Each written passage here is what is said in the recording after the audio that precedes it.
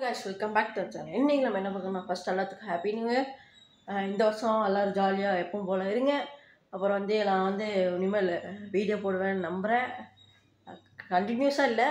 ஒரு வாரத்துக்கு ரெண்டு வீடியோ அந்த மாதிரி போடுவேன். டுவெல் ஓ கிளாக் நாங்கள் கேக் வெட்டினோம்.